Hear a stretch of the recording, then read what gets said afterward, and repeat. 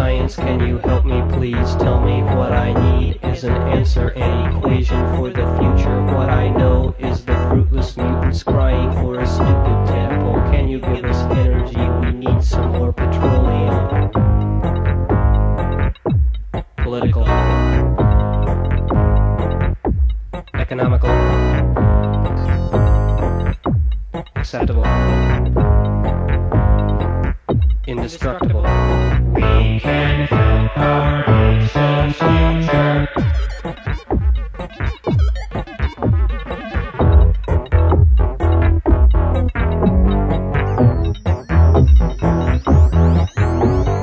Hey, Mr. Science, don't you think you have solutions? Well, then you're a screaming pastor and an imposter by the podium. Screams that we are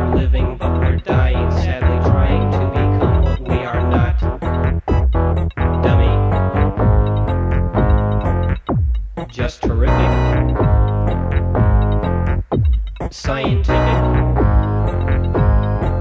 Quite prolific. Be specific. We can